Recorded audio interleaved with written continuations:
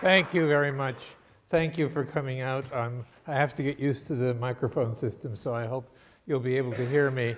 Um, I am an astronomer. I'm an observational astronomy. Astronomy is best done in the dark, and we are going to have to be a little bit in the dark uh, in the room here tonight for you to see some of the more pretty pictures. There are galaxies that are seriously gorgeous to look at, and yet we kind of understand why and what that all means. I want to see you to be able to see the beauty, and so we've tried to arrange the room with this weird lighting system so that you can see that stuff. Um, if you happen to be more interested in birds than in black holes, number one, I won't blame you. And number two, if you go to my webpage, and you can find me by Googling my name and the word homepage, and links at the bottom lead to hundreds of pictures of birds. But my subject tonight is black holes, and um, this is sort of an introduction in a sense. This is one of the motivations for why we look for these things. And the other picture, which I'll come to near the end of the talk, has to do with how we have by now, and, and this is not my work, this here, uh, succeeded in proving that black holes exist. So this is the LIGO Laser Interferometer Gravitational Observatory wave detection of two black holes that were spiraling together and eventually merged, which I'll come to later in the talk. But I'm going to start here because that's kind of where the observational story starts. So one of the reasons why we are motivated to look for black holes, I will explain what they are in a few minutes, but first a little bit about why we're looking, is this kind of observation. This is a composite of two kinds of pictures. The, the color picture, this, this, these things, but not this, that is a picture of a very big galaxy. It's a galaxy of a different type than our Milky Way, but it's a galaxy made out of bazillions of stars. I'm not going to get more specific than bazillions. um, it's a very big galaxy. And something in the middle is causing this to happen. And what you're seeing here is radio waves. This is a picture taken with a radio telescope, not with an optical telescope of subatomic particles, uh, many, many of them, of course, being shot out in jets in two opposite directions and eventually going splash against something. And these jets are seen very often. They're really dramatic objects. They're sometimes millions of light years long. And some engine has to do that, has to produce them. And this was not the first sign of black holes but it is one of the more compelling ones, and it makes a better introductory picture than the first signs, so I use it for that. Here is another picture. This is an optical picture taken with the Hubble Space Telescope of the center of a galaxy that, in this scale, is bigger than our room, or our building, actually. And at the center, there is this bright spot, and out of this bright spot is coming another jet, this time in visible light. Again, you can see a straight jet with some knots in it. And it turns out that this jet in this galaxy, whose name is unimportant, is shot out by a 6 billion solar mass black hole. It's a black hole like any other black hole in terms of its properties, except it's very massive. It's got the same amount of stuff in it, the same amount of mass as 6 billion suns or suns. Okay, I'm talking about black holes as if everybody knows what they are, and just some degree of that is actually true. But let me uh, go through a quick discussion of what black holes are, under what circumstances does the universe make them, why do we think they're there, and then I'll talk about how we look for them. So let's talk about first what they are.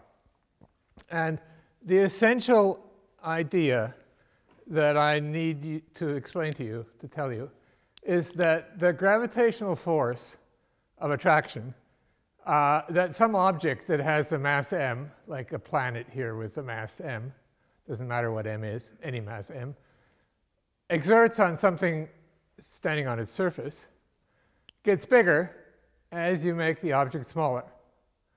And we have here three examples to kind of illustrate the point. Um, imagine three different planets each of which has the same mass. But this one is the Earth, and this one is made out of styrofoam. So in order for it to have the same mass, it has to be physically much bigger because styrofoam has a very low density. And therefore, when you're standing on the surface of it, you are much farther away from most of it than you are here. And imagine another planet which is made out of uranium or lead or something like that. The planet can be much smaller and still have the same mass. So the mass of the thing doing the pulling is the same in all three cases. And it is actually a result first proved by Isaac Newton that the force of gravity gets stronger as the square of how close to the thing you can get. And the closest you can get to the planet is to stand on its surface. So here we have a creature standing on the surface of these three planets. Each one is holding the same little mass, but this little mass is light here because you can't get any closer to the planet than that. It's heavier in the smaller mass planet. It's still heavier in the smaller mass planet. And now you can imagine that if it were feasible technically to squeeze the planet still smaller, then you could get still closer and the gravity would be still higher. So the question now is, is there any limit to that? Well, the technical limit, the engineering limit of squeezing is of course hard, and I'm not, i will tell you in a minute how nature does that a little bit. But the point that's important to understand is you can squeeze this, it is possible, at least in principle, to squeeze this stuff into a volume which is so small that if you were to be on or near the surface of it, the gravity would be so big that nothing could ever get out. Not light, not any particle shot up, not any rocket, nothing. That's what a black hole is. So there is a radius connected with the black hole mass, which is actually given by uh, the gravitational constant times the mass divided by the square of light squared. That formula is unimportant. The point is we know how to calculate it. If something, if, if the mass gets squeezed inside this radius, then the black hole is so small, or the object is so small, that its surface gravity is so big that nothing can escape, not even light. If you were to be able to be there and shine a light beam upward, it would not get out. And I want to emphasize in a way that's viscerally understandable to you what an enormous amount of squeezing we're talking about. Uh, to turn our Earth into a black hole, you would have to squeeze all of it down to the size of a grape. That boggles the mind. If your mind is boggling right now, you're understanding me. It's okay. That is how much squeezing is necessary to turn the Earth into a black hole. Think about that the next time you eat a grape. to turn the sun into a black hole, you'd have to squeeze it down to a size roughly the size of Preston. Okay? Um, and I'm going to talk about in effect, two kinds of black holes in this talk, whose sizes depend on their masses. And this is one kind. So two kinds of black holes are produced in the universe naturally. I have to explain naturally just a little bit, not too much. Black holes that have masses a couple of times the mass of our sun have sizes about the size of a big city. I'm using Diamond Head in uh, uh, Honolulu as an egg cup to hold this circle to give you a feeling for the size we're talking about. But the mass connected with this is not like the mass of the Earth or of Diamond Head or, uh, or even of the solar system. We're talking about uh, something like 10 times the mass of our sun. And those kinds of black holes are very well understood in terms of their formation there are always engineering details that we don't know, but the general notion is well known. The most massive stars in the universe, not stars like our sun, but stars that are rather bigger than our sun, like 20 to 30 times bigger than our sun, when they die, they die by exploding as supernovae. This is the gas cloud remnant of a supernova explosion uh, that actually didn't make a black hole, that made a different kind of object, but it would look similar if it were making a black hole. And what's left behind after this explosion is what used to be the very center of the star. And in the process of this explosion, and in the evolutionary stages that precede it, the center gets more and more and more and more and more and more squeezed. The center is made out of hot gas, but it's very, very, very, very, very squeezed. I cannot put enough varies into this talk. You would get bored listening to them uh, in order to squeeze that stuff down into a black hole. But at the end of this explosion, what's left over is maybe a quarter or a fifth of the star, and that is a black hole, and it's a black hole with a mass of a few times the mass of the sun. And there are very many stars in our Milky Way galaxy that are this massive, and a lot of them have died. And as a result, here is a picture of our Milky Way galaxy oriented suggestively. Um, so this is, this is the galaxy we live in. It's a flat-ish disk of a billion or so, uh, 100 billion or so stars with some dust and so on. You can see some of the stars. Millions of stars in our galaxy have lived their lives and died that are massive enough to leave behind a black hole like this.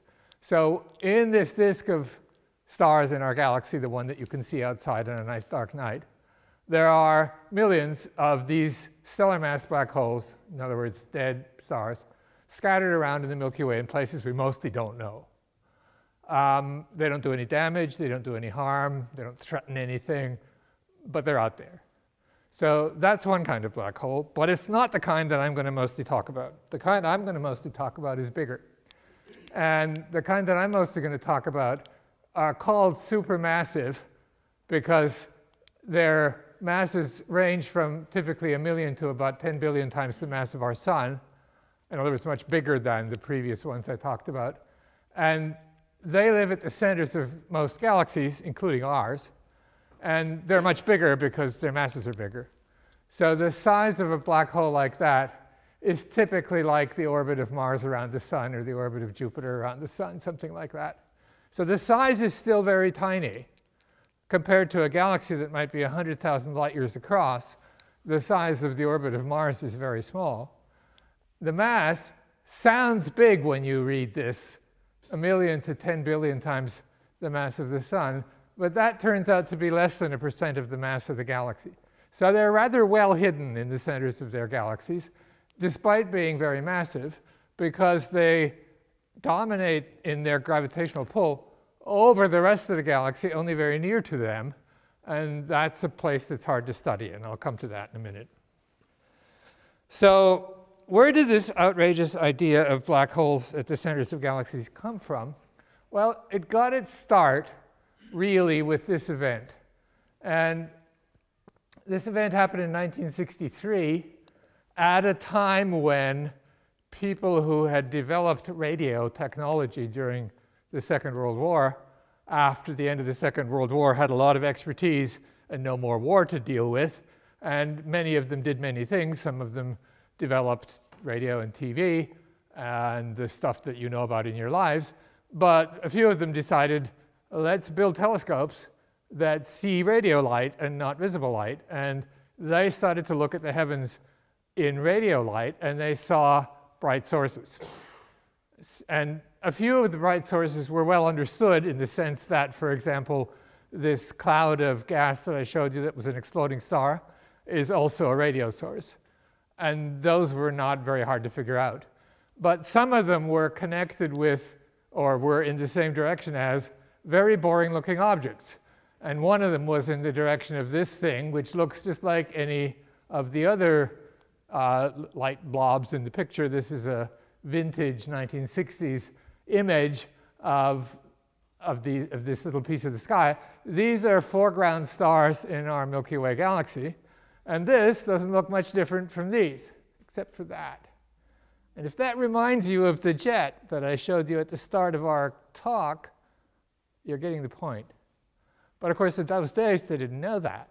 So they did not understand these objects. Why are radio sources connected with what look like faint stars? And among the people who were studying these things were Maarten Schmidt who was a young professor at Caltech at that time. Uh, he clearly became famous from what I'm going to say next. And he took the light from this object and a few others and spread it out into its component colors. I will show you that idea again in a few minutes, and didn't understand it. Normally, astronomers do that all the time, and you can learn an enormous amount about the universe by spreading out the light from an object into a, into a spectrum, into a rainbow. But this one, there's a picture of it here. It's a negative picture, so what's black is really light. He couldn't understand until he noticed that the uh, bright lines that look black here are actually the lines of hydrogen shifted toward the red by 16% of the speed of light.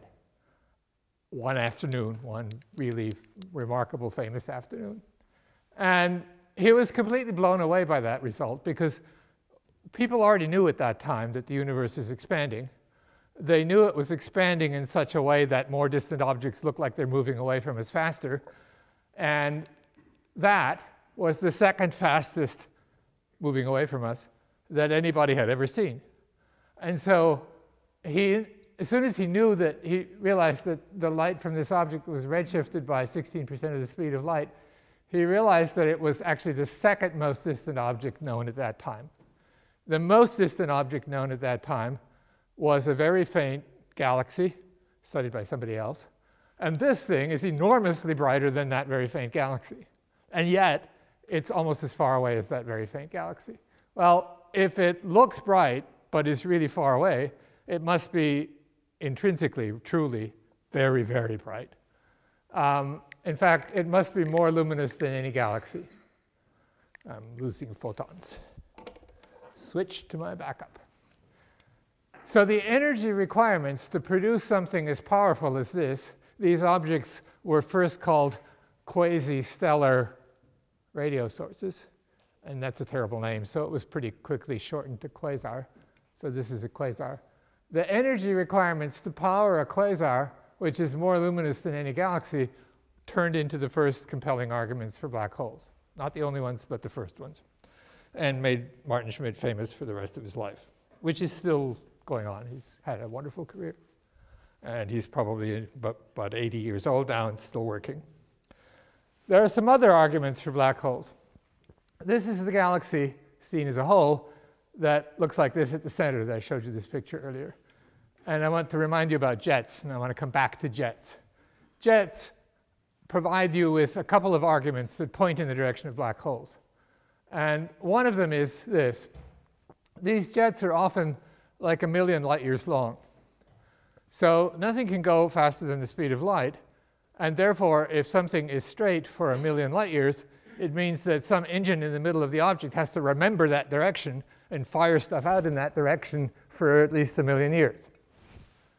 Okay? And that argued against one of the alternatives to a black hole.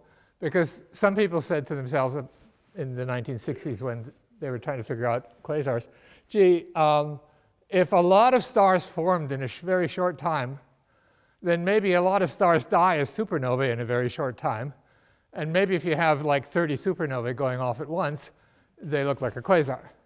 And that wasn't a stupid idea, but it wasn't the right idea.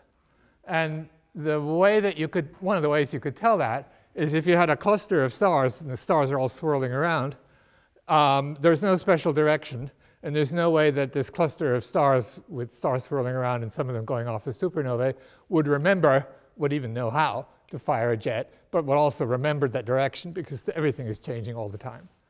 So this suggested that engines are something that remembers the direction for a long time. And you probably know from your own personal experience that if you spin a top, it doesn't like to tilt. It remembers its direction for a long time. If you spin it in space with no Earth pulling on it, it'll spin in that direction for a very long time.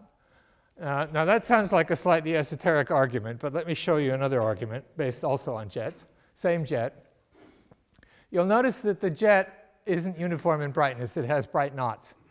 And if you take a picture of this jet today and another one in a year and another one in a year and you compare them, you will see that the jets are moving away from the black hole. When I say the jets are fired out of the black hole, uh, out of the center, I really mean it.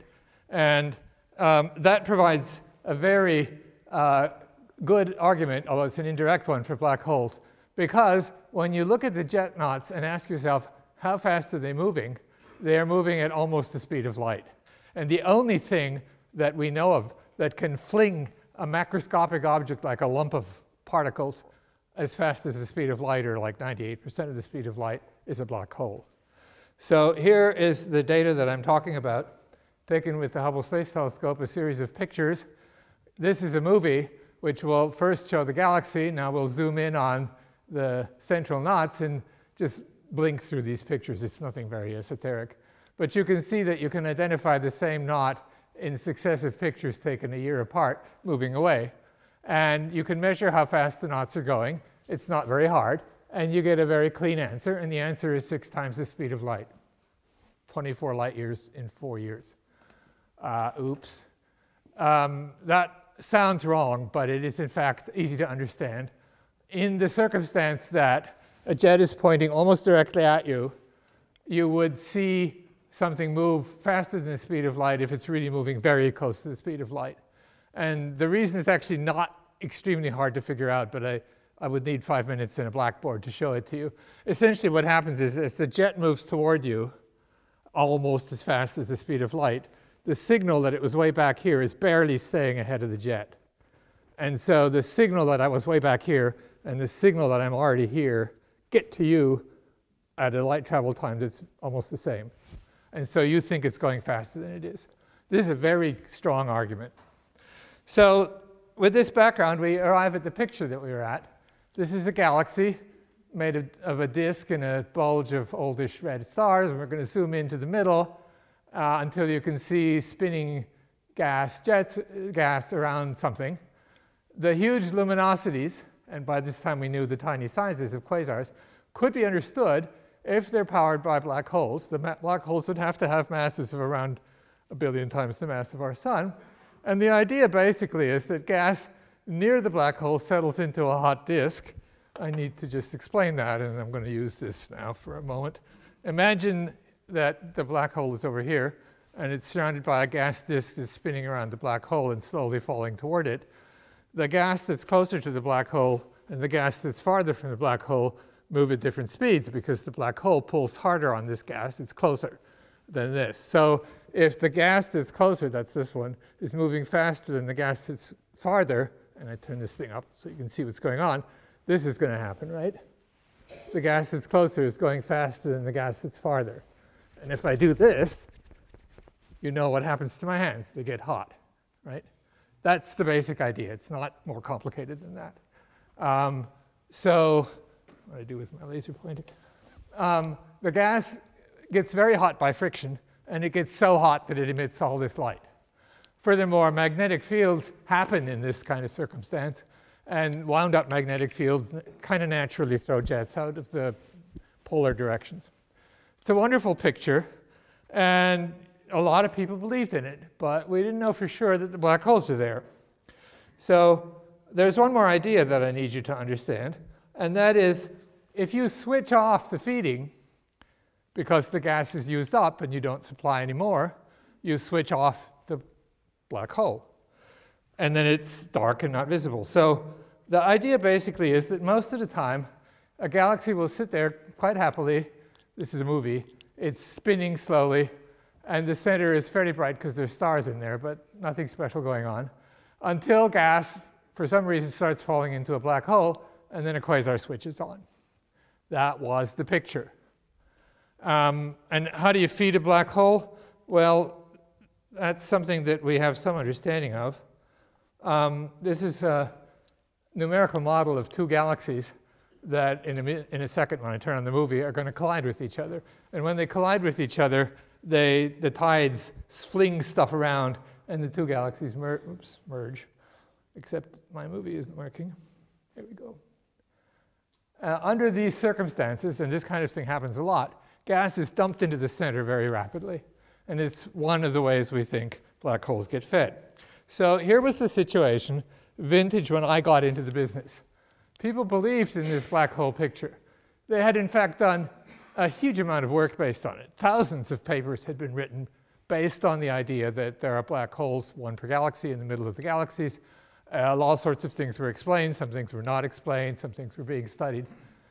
But for many years, there was no direct evidence that the supermassive black holes are there. So this is not a good situation, right? If you have this wonderful theoretical edifice built by hundreds and thousands of astronomers on a foundation that isn't there, there's always a danger that you're barking up the wrong tree and that nature knows something you don't know, and that's just not a good thing. So the research for black holes became a very hot subject in the 1980s and 1990s. But there's a very big danger here, right? Because I've just given you a whole collection of arguments that people knew about then that suggest that there ought to be black holes in many galaxies. Now, when a scientist goes and asks a question and thinks he knows the answer, you can kid yourself into thinking that you've proved it when in fact you haven't proved it. And that was a big danger. It's very easy to believe that you've proved something that you expect to find. So the standard of proof got very high. And uh, I was lucky a, to be in a position where I could find um, three of the first five, three of the first four, and four of the first eight of these things known. And when we announced the first one, when I announced the first one, uh, I got a phone call from the, re the reporter of the New York Times. And he's a very good guy, he knows his stuff. Uh, and he asked me, not quite in those words, I've heard about the first discovery of black holes many times. Why should I believe you? Right? It's sort of like Mark Twain's famous comment it's easy to give up smoking, I've done it a hundred times. Um, it's easy to find the first black hole. We've heard it many times. Why should I believe? No, he was much more polite than that. But it was the right question to ask. And the answer was those guys were wrong. Uh, but you have to be more polite than to say that too. So we had a, a delicate conversation, and uh, everything worked out fine. Uh, you need to know one more thing before I get into the search process, and that is if you look at the, the density of black holes, how many black holes are there in some volume of the universe? as a function of time, this is the creation of the universe in 12, uh, 13, 13 and a half or so billion years later, that's now. This is how many quasars were switched on at various times from the beginning until now. And you can see that now almost all of them have switched off. Almost all quasars have now switched off. But back here, uh, sort of 10 billion years ago, that was the era when quasars were on most of the time. And at that time, there were so many of them that almost every big galaxy now should have in the middle of it a dead quasar left over from then, because once you get the dead quasar, there's no way to get rid of it. You can make it hard to see by not feeding it, but you can't get rid of it. And so that was good news because it meant you could look for black holes in almost any nearby galaxy and have a decent chance of finding one. At least we thought so. Okay, so I haven't explained how we look yet. Um, how do astronomers look for things that are fundamentally black? Black holes don't emit light. How can we see them? How do we find them? And the answer is we don't see them. We look at the stuff around them and see how they influence the stuff around them. So here's the answer. We look for the result of their gravity pulling on the ordinary stars near the centers of galaxies.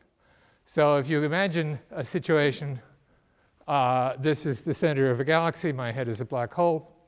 Try not to comment. Um, the stars around the black hole will feel all the extra gravity of the black hole and have to go much faster than if the black hole weren't there. Then the galaxies would, stars would only see each other, and there'd be less total gravity and there'd be less total motion. So what we're looking for is very fast motions of stars or gas near the galactic centers. So the trick is to measure how fast the stars are going. That tells you how much mass is pulling on them gravitationally. But of course, the centers of galaxies have stars in them. So you also have to figure out how much mass is in the stars.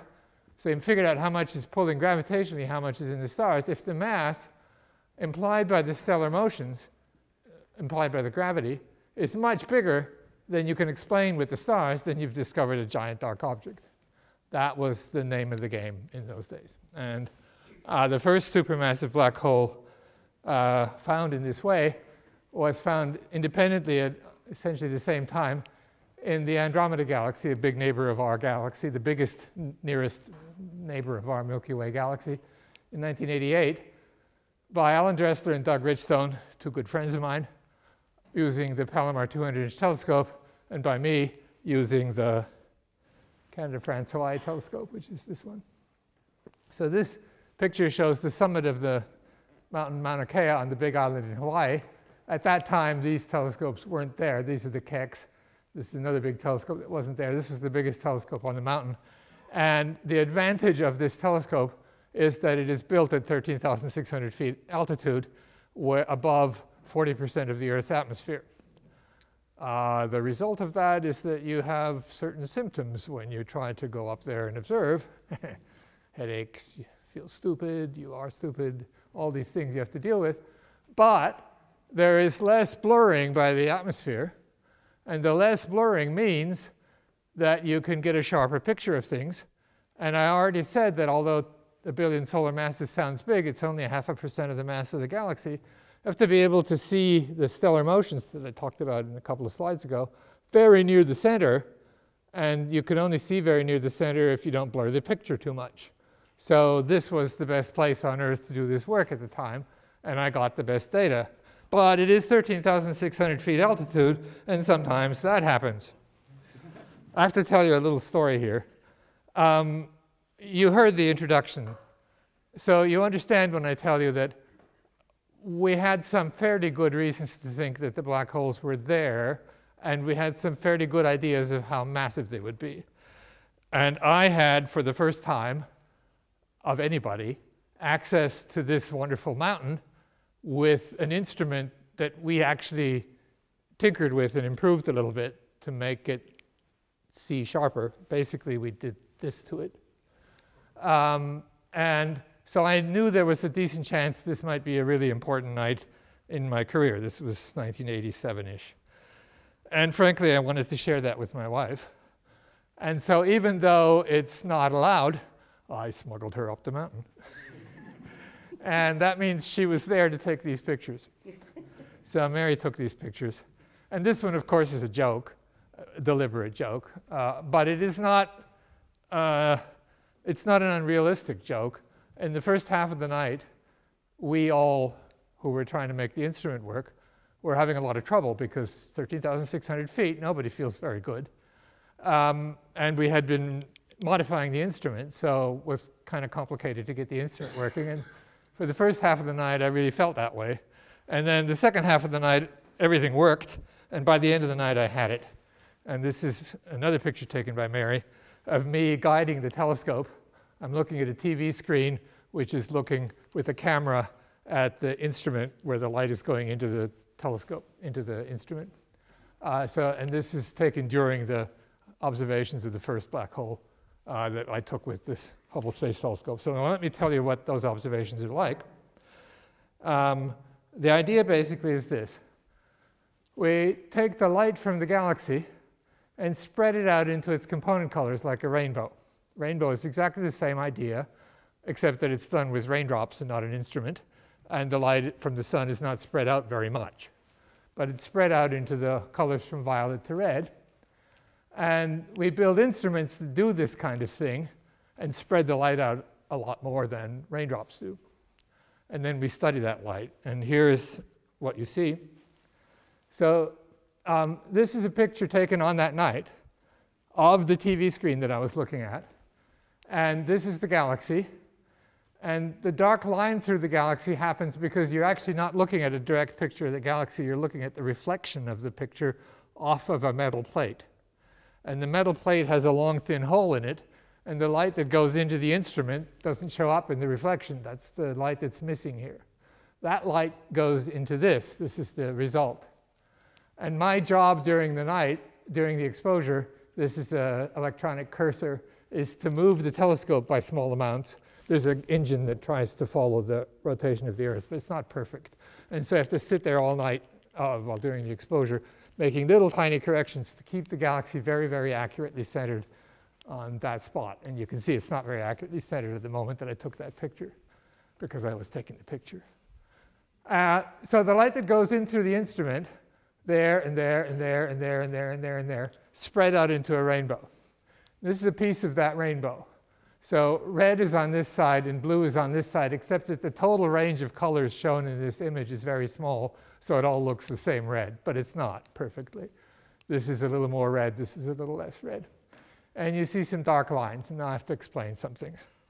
The effect that I'm looking for here is an effect in light, which is something you haven't experienced in your lives, but it is very analogous to an effect that you have experienced in your lives, which is the shift in pitch of a sound wave that's caused by the motion of the source producing the sound wave. So, for example, if you uh, listen, you're standing somewhere and you're listening as a as a, a, vehicle with a siren comes towards you and then passes you, you know that as it's coming toward you, you hear a higher pitch, and then as it passes you, the pitch drops, and as it leaves, you hear a lower pitch. So you hear something like eh, that idea. Pitch is the wavelength of the sound. And the wavelength of the sound is changing because the thing is keeping up with its waves. So it, it, it, it's emitting waves that have this wavelength, let's say, by the time this wavelength gets over here, this has come a long way. Now it emits the next wave, and so the waves are only this far apart instead of the amount that they would have been apart it's coming toward you. If it's coming toward you, the pitch is raised. If light comes, a light source comes toward you, the color is the same thing happens. The wavelength of the light gets shorter. That's a blue shift. Shorter wavelength is bluer light. So what happens is that an object that's coming toward you, you can measure its speed by how much the light from that object has been shifted blueward. And if it's moving away from you, you measure a shift toward the red. And nature is kind to us that the rainbow of light coming from stars has certain colors more or less missing. So this, for example, is a specific color which is missing or at least fainter. And it's very accurately measurable what that color is. You can see a zigzag in here. That's the important thing. That's the signature of the black hole. And you wouldn't be able to see the zigzag if you didn't have the line. And the line is produced by some element in the atmosphere of the star that absorbs only that color and no other color. Actually, all three of these lines are produced by uh, calcium. And uh, is three of many such lines. So we can measure these lines enormously accurately. Uh, nowadays, we can measure the speed of a star that's moving this fast. That's phenomenally good. Um, this is much more. This is uh, 150 kilometers per second, roughly. And you see a zigzag. What does that mean? That means that on one side of the, here's the center, on one side of the center, the stars are coming toward you and are blue shifted. On the other side of the center, the stars are going away from you and are red shifted. This is part of a rotation pattern. So what you're seeing is the stars near the center are all together swirling around the center, rotating, and the rotation is very fast near the middle and slower farther out. That's a signature of the black hole. And as soon as you see this on the TV screen, you don't quite know that you've got a black hole, but you get you got pretty close because you know roughly how much spin to expect. So that's how you find them. And this signature is the signature of a rapidly rotating nucleus of stars that has a mass 200 million times as big as the mass of our sun. That was the first one that I found. The second one that I found was found in this galaxy, 1 billion solar mass black hole. In the very center of this galaxy Here's a picture of a much younger version of me uh, looking at a TV screen. There's the zigzag in the lines, and this is a plot of how fast the stars are rotating as a function of position around the center there. And that spin corresponds to a billion solar mass black hole. And I found those were both done in 1988. So at first, we, I did it with the Hubble Space Telescope, but pretty soon, I'm sorry, with the ground-based telescope, pretty soon the Hubble Space Telescope got fixed.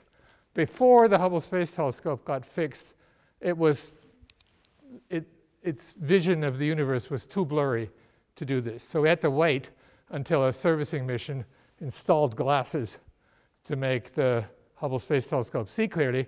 And then we could start using it to do the same job better because Mauna Kea is above 40% of the Earth's atmosphere, but the Hubble Space Telescope is above almost 100% of the Earth's atmosphere. So the images up there are still sharper.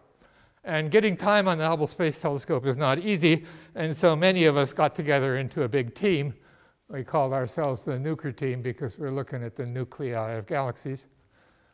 Um, astronomers are great, it's silly names.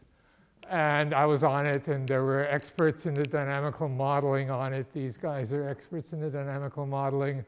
Um, Alan Dressler and Doug Richstone were the ones, the other ones who did M31, right? So um, I invited Doug to be on the team, and Alan was on the team. Uh, there are experts on quasars, these two guys. We got a lot of expertise together. We got a lot of telescope time, and we found about 20, 25 more black holes by about 2000 a couple. And it also helped that instrumentation got better. And after a while, not at the very beginning, but after a while, there was a spectrograph on the Hubble Space Telescope that had a slit to, for the light entrance. At the beginning, it only had a hole, which is terrible because you got to measure one spot after another. But this had a slit. This is across the center of a big galaxy. And this is another rainbow of uh, the light coming from different positions along the slit. So this is position along the slit. This is blue shift and red shift of a gas disk that's spinning around the center. It's a gas disk in this case. And uh, you can see that it's spinning very rapidly near the center and not so rapidly farther out. That's the signature of a billion solar mass black hole. So this story got you know, quite good by the early 2000s. Okay, if you'll remember what I said earlier on, I said that if you compare the mass that you detect with this technique to the mass in stars, and the mass that you detect with this technique is bigger, you found a big dark object. I did not say that you've discovered a black hole yet. I said you found a big dark object. Is it a black hole or not? Well, that's the next question I have to address. So, you know, to use a sort of a metaphor, uh, what we're observing in this story as I've given it to you so far is kind of a shadow of the thing. It's gravitational effect on ordinary stars. You're not observing the thing, you're observing its effects on things. So, you know, when you see that, the question then is, are we detecting one object? We're looking for a single black hole. Are we in fact detecting one object? Another alternative which would have the same result is if you're detecting two objects that are going around each other, that's actually okay. Two black holes will explain quasars as well as one.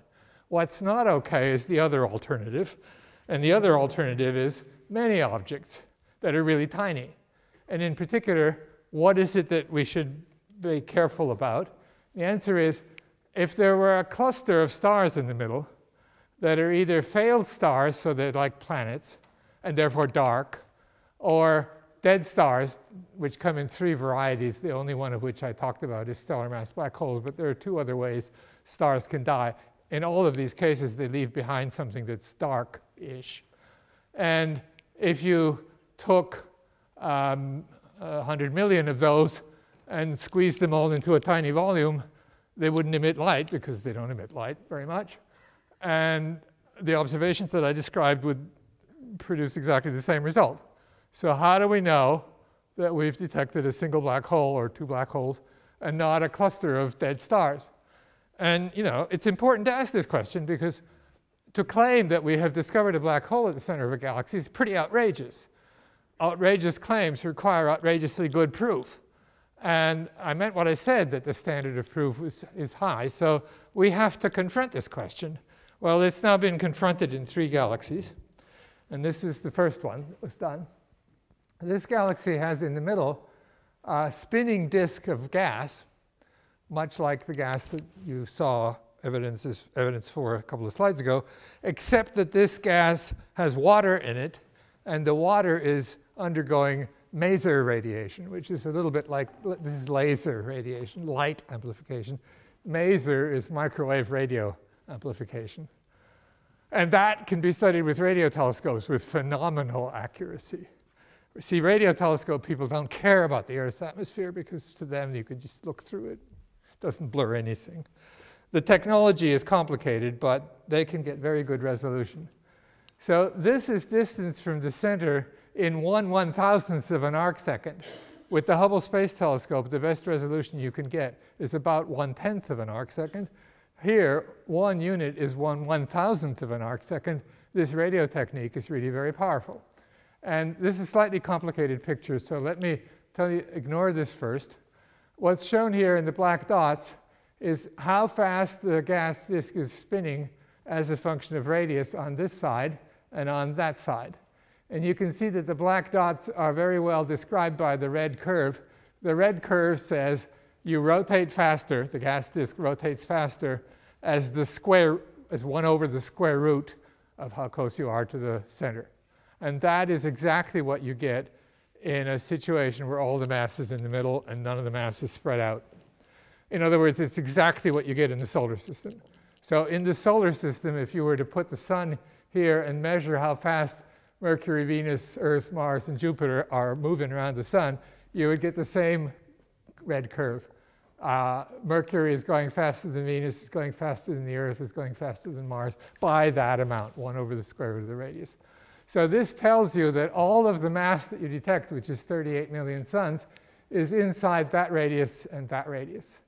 And that means that you have now proven something new that I haven't said yet. You've proven that the dark mass is inside a particularly small volume, a volume with this radius. And if you ask yourself, can you do that? Can you put all those remnants in there? You get an interesting answer. All of this mass, 38 million solar masses, is in such a small volume that all these alternatives to a black hole, like failed stars or dead stars, cannot happen. If you try to do it, something will go wrong. For example, if you try to make the 38 million solar masses out of failed stars, out of Jupiters, they'll hit each other and they'll stick together and they'll make stars and they won't stay dark. So you fail, all right? So this was the best black hole case uh, in 1995. And since that time, our Milky Way has become the best black hole case.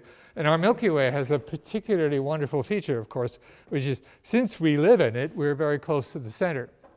And we're in fact close enough to the center that if you take in the infrared, looking through a brick wall of dust between us in the middle, in the infrared, uh, wavelengths like heat, then you can see individual stars in there. And this is 10 light days. And this is an image taken in 1992 of this cluster of stars that surrounds the radio source, which has got a weird old name, at the middle. And we think that, or we wondered whether there was a black hole there. And two groups, one led by Reinhard Genzel in Munich, and the other led by Andrea Ghez at UCLA in California, uh, using different telescopes, and their collaborators have measured the motions of these stars. And this is really a wonderful thing. Let me show you the movie. So this is going to be a movie from 1992 to 2006 of the motions of the stars. And now we zoom in and we follow the motions of individual stars and lines are drawn with the positions of the stars at various positions. And in particular, I want you to notice that this star has at this time made three quarters of a revolution around that spot. They're all going around the same spot. So all the mass is at that spot and how big is it? 4.3 million solar masses. So we, our Milky Way, has in its center a black hole of 4 million solar masses. And I should say immediately, because I know that black holes have kind of a folklore surrounding them, that there is absolutely no danger to the Milky Way or to us from the fact that uh, 30 million light years away from us at the center of our galaxy, there is a 4 million solar mass black hole. The rest of the galaxy essentially couldn't care less because the rest of the galaxy is a thousand times more massive and only the very tiny volume around the black hole is affected by the black hole. What volume? This volume. Um, so uh, we have essentially, this work has proven that all of this mass is inside the smallest radius of the smallest orbit that we have so far observed. And uh, that is also a result such that the size is so small that dark cluster alternatives to a black hole are excluded. This is really a remarkable result, right? Because we actually see the center of our galaxy rotate in our lifetimes. Astronomers like me who look at galaxies are looking at objects that are slowly rotating and slowly changing over time. But a typical galaxy changes on timescales of many millions of years. So in the lifetime of all astronomers who have ever lived, uh, the galaxy has absolutely not changed in how it looks. You have to deduce stuff about it by measuring rainbows and things like that.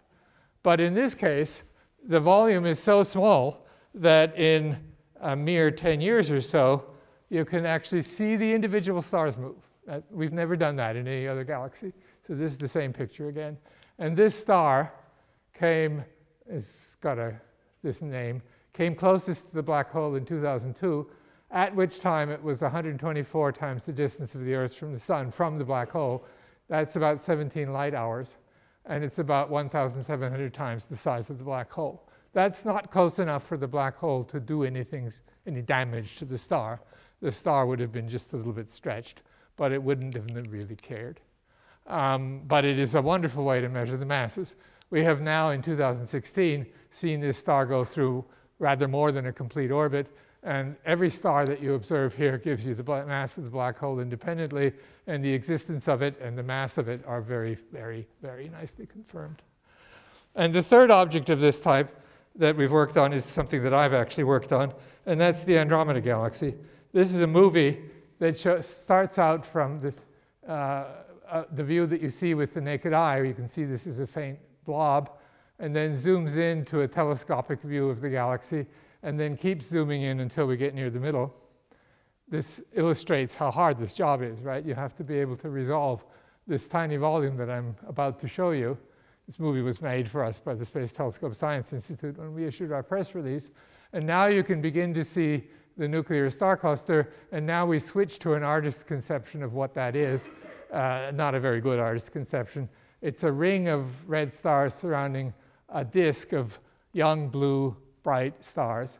And you can see that the disk of blue stars is rotating around a center that's dark. That's where the black hole is. So this was made, as I said, for the press release, but it shows what we observed. Uh, we observed that when you look at the center, here's the cluster of red stars. That little blue blob, unlike these, is not an individual star. It's a cluster of stars. It's actually a disk of stars. And we observed that it rotates at 1,800 kilometers per second, uh, right, 1,000 or so miles per second, um, at a very small radius. And that proves two things. First of all, it proves that the black hole isn't some random place near the middle. It's actually inside that cluster, at the center of the cluster. Uh, and it shows that any dark cluster alternative to a black hole has to be smaller than 0.03 arc seconds in radius, a number slightly smaller than that. That corresponds to this radius of the Ring Nebula. Any of you who are amateur astronomers, I hope, will know and recognize uh, the Ring Nebula as an example of a dying star in our Milky Way galaxy. And this dying star is spewing out its outer envelope uh, slowly. And what you see here is the gas from a single star on its way out away from the star. The star is probably invisible to you, but it's in the middle and this is how our sun, for example, will die. Uh, and so this is a star that's on the way to dying. And in this particular object, so this is a single star illuminating its own gas cloud. This gas cloud is a third of a light year across in radius. And what we have shown is that 200 million solar masses of something is inside a sphere of the same radius as this, which I've drawn here with Photoshop on a picture of the center of the galaxy, which is enlarged so enormously that you can actually see the individual pixels. So these are individual Hubble Space Telescope pixels.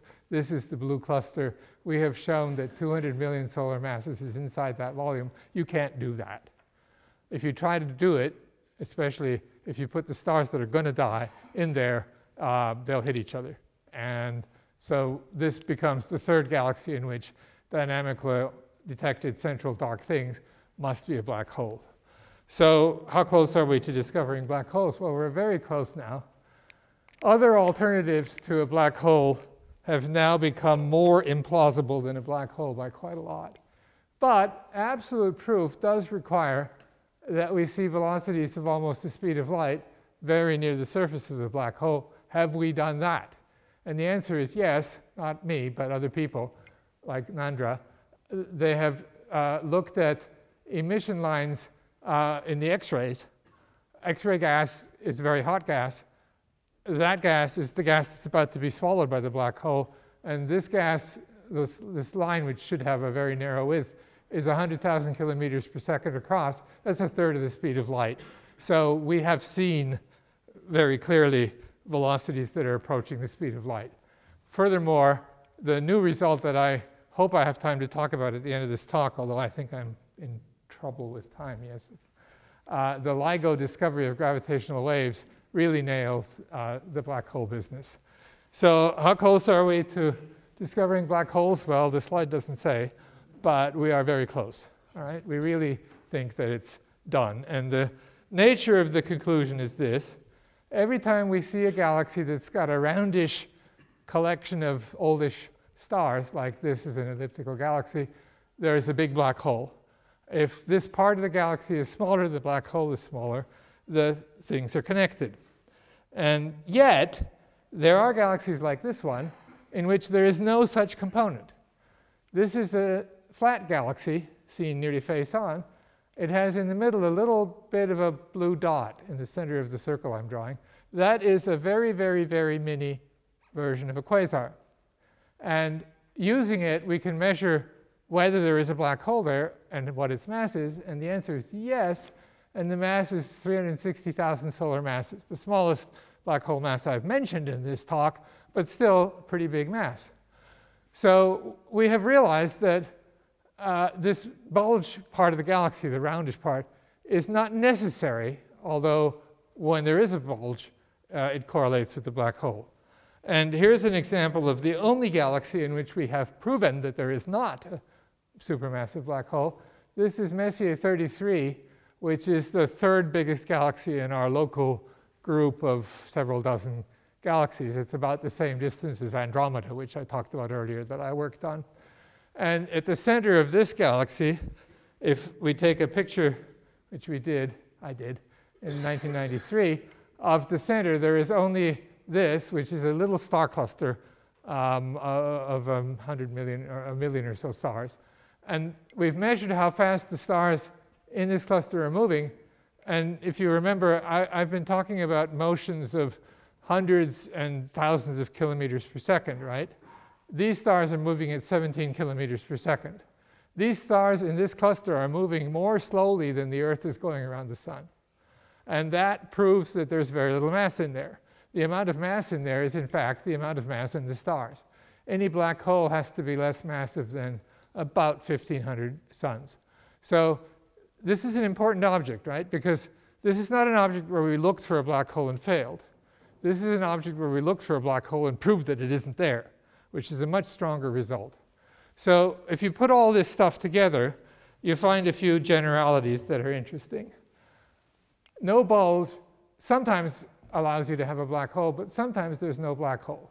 This is an edge-on disk galaxy. We don't know whether there's a black hole in it. I just wanted to show you what an edge-on galaxy that's a flat disk looks like. When bulgeless galaxies do contain a black hole, then its mass has nothing to do with its disk mass, and that's shown here in a correlation diagram.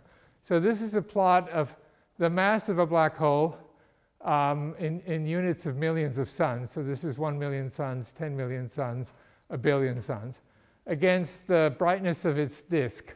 And you can see the points are all over the place. There's no correlation.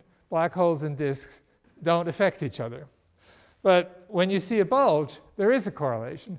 This is a big, black, uh, big bulge and a little disk in the second galaxy in which I found a black hole. In this circumstance, when there's a giant bulge, there's a giant black hole. When there's a much smaller bulge, like here, there's a much smaller black hole. And if you plot black hole mass against how big the bulge is, you get a good correlation.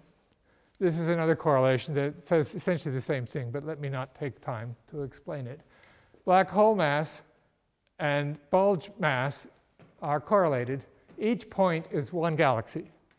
Um, so the big galaxies, like uh, the first one with the jets that I showed you, are up here and the smallest galaxies are down here. 10 times bigger black hole, I'm sorry, 10 times bigger galaxy means 10 times more massive black hole, almost exactly. And that means that, in fact, the black hole mass is about half a percent of the bulge mass. That th there is a chance that they influence each other. And to make a long story short, this is the conclusion. Black holes help to control the formation of bulges and ellipticals. This is an elliptical. Uh, when a bulge has no disk around it, we give it a different name. Um, and this is a sort of object that has a big black hole.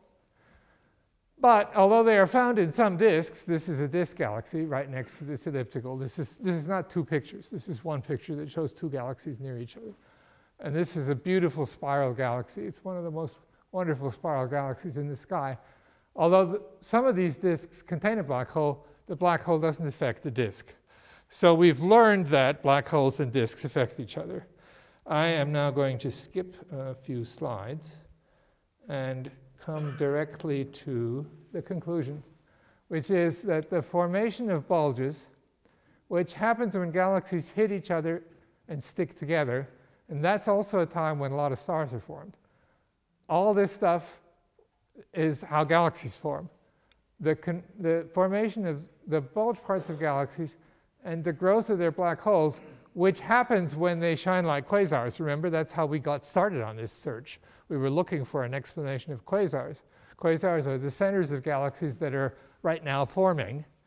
The formation of those galaxies and the growth of their black holes happen together.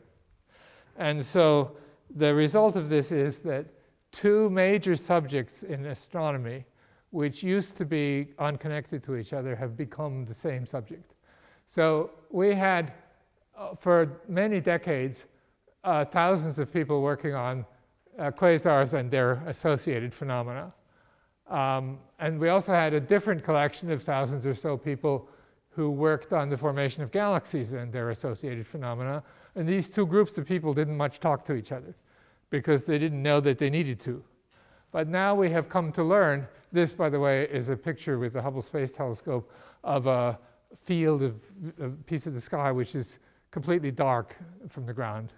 And it shows some of the most faint and distant galaxies known. So this is a galaxy formation picture because we're looking back in time at galaxies the way they looked billions of years ago because they are billions of light years away from us and it takes billions of years for the light to come to us. So this is the kind of thing that the galaxy formation people study. But some of these galaxies have little quasars inside them.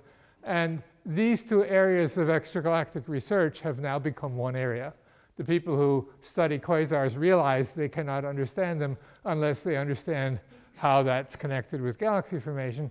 And the picture, people who try to figure out how galaxies form understand that they can't understand that unless they also understand how quasars have something to do with it. And that's really good progress. So I am now at an hour and one minute. The next subject would have been the LIGO detection, um, but I'm going to stop here unless you want me to sort of talk about that in the question. So thank you very much for your interest. So in February, this experiment, the Laser Interferometer Gravitational Wave Observatory, uh, has been in the works for decades. And you will see in the next two or three slides why it took decades and, and thousands of people to make this happen. But the first success of them to find the inspiral of two black holes that are radiating gravitational waves, I'll explain that in a minute, and merging, happened, was announced on February 11th, 2016. And it's absolutely the most remarkable piece of work and, and, and news broadcast that I've ever heard. These guys are essentially 100% certain to win a Nobel Prize in the next few years. This is the signal. Um, and you'll notice that the signal consists of wiggly lines of two colors. The reason for that is that this measurement is so hard to make that if you do something near the detectors, the detector will detect that.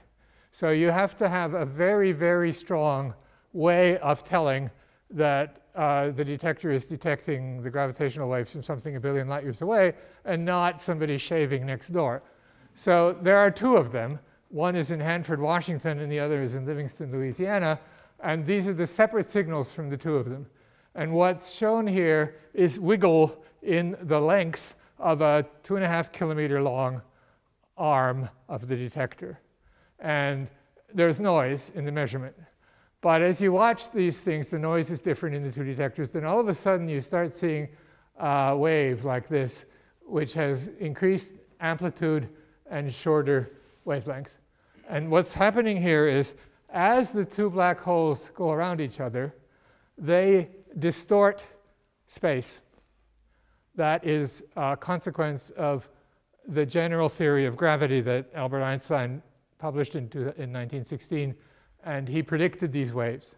These waves carry away energy, and they change the spacing of space, okay?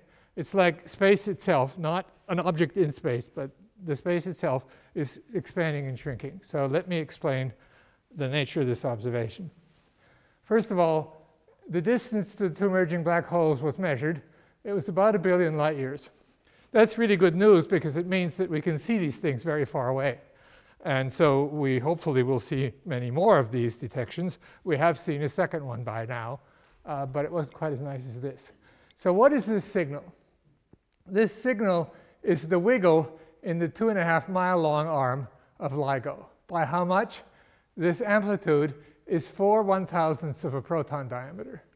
Now, if you know anything about protons, you already know that that's a just mind-blowing number, but it is equivalent proportionally to a wiggle in the distance from us to the nearest star, Alpha Centauri, of the width of a human hair over the 4.3 light year distance from us to the nearest star. And that should blow your mind a thousand times more than anything else I've told you today. Uh, this is an absolutely remarkable observation, and it is the technology that goes into being able to measure the separation of two mirrors that are two and a half miles apart this well uh, is, is phenomenally difficult. And what you see, this is a, a time sequence. Uh, that time sequence is three tenths of a second long, and it includes the in-spiral from about 30 orbits per second over here where you first begin to see it to about 250 orbits per second. And at this point, the black holes come within about a diameter of each other, and they start to distort each other, and then this clean signal of two objects becomes a messy signal as the thing just sort of jiggles and becomes one black hole. So that's what's happening here. Uh, the black hole masses were measured. Um, uh, by the way, at this point where the signal dies, the two black holes are in their orbit, each moving at about half the speed of light. And a very tiny fraction of a second later, they're not two black holes anymore, they're one. So the two black holes had masses of 29 and 36 times the mass of the sun, and they merged into a single black hole with a mass of 62 times the mass of the sun. 6 and 9 is 15, so three solar masses are missing. Three solar masses of stuff, of, of mass, was converted into energy according to Einstein's famous equation energy is equal to the mass times the speed of light squared.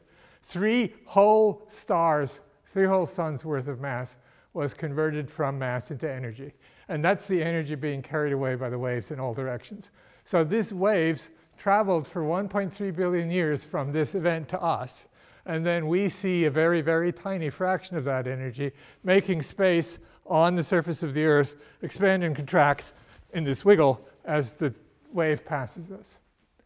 Uh, the maximum power of this is about 50 times the total power of all the stars in the observed universe put together for maybe a hundredth of a second, not for very long. It's a really remarkable observation. And there's no way that this could have happened without black holes being real. And so this proves really that black holes exist. There may have been doubts before, you know, people knew about neutron stars. Does something more extreme than neutron stars really exist? This proves that the answer is yes. And it's a successful test of Einstein's theory of uh, how strong gravity works, uh, because he predicted gravitational waves as uh, being produced by moving objects and carrying energy away from the moving objects in exactly the right way to explain these observations.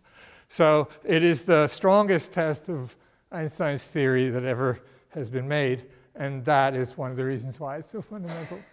There's also a connection of this result with my talk, because this detection is also a kind of a window on the origin of the supermassive black holes that I've been talking about. And here's why. In the very young universe, um, the universe was made out of hydrogen and helium and not much else.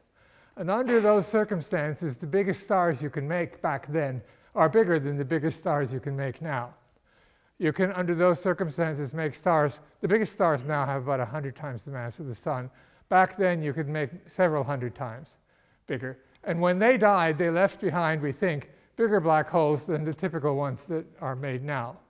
So the way we think the supermassive black holes that I have been talking about in this talk got their start is we think that in the very early universe, the first stars made a lot of dead black hole remnants of the order of 30 or 40 or 100 solar masses. And then uh, supermassive black holes got their start when many of these dead black holes made, formed in individual little galaxy pieces merged together in exactly the way that the two stars merged, the black holes merged in the detection from LIGO, as protogalactic little pieces merged to build up today's big galaxies like our Milky Way. Um, the masses that were observed are a little bit bigger than are usually expected for stars in the present day universe. They're not quite big enough to bomb-proof prove this, but they're kind of in between. So watch what happens in the next five years. If you see a lot of reports of LIGO detecting black hole mergers, uh, you can actually, let me just show you one more slide and then you can turn the light on while I say the last sentences. This is how we detect black holes of stellar mass in the local universe. Oftentimes they have a companion star which is close enough to dump gas onto the black hole and then the black hole shoots out jets and now we're talking about a 10 solar mass black hole in the nearby universe and we can detect the x-rays from these things. So they're, they're, wonderful objects. They're studied in enormous detail and, and we, the, because of them we know a lot about dead stars. Uh, could we have the lights now? So just to finish, let me say uh, watch what happens in the next five or 10 years. Uh, LIGO will almost certainly detect more black hole binary mergers. It's detected one already. Um, if most of the time you hear about two black holes merging that have masses like 10 or 15 or 20 times the mass of the sun, then that's important and interesting, but those are ordinary dead stars like we have now. If you hear of any cases where the black holes that merged have 30 or 100 or 500 times the mass of the sun, they're the ones that made the supermassive black holes. And both types ought to happen in numbers that are not well known, so I do not know how to predict what you'll hear about next. But if you hear about big ones, you're hearing about the origin of the black holes I study. If you hear about little ones, you're hearing about the other kind of black hole made when ordinary stars in the present universe die, and both will probably happen. So this is an absolutely spectacular piece of work, and I can't applaud these people enough. The paper that was written by these people has like a thousand authors. It is a very, very, very hard piece of work. And it was very, very well done. So that's the story.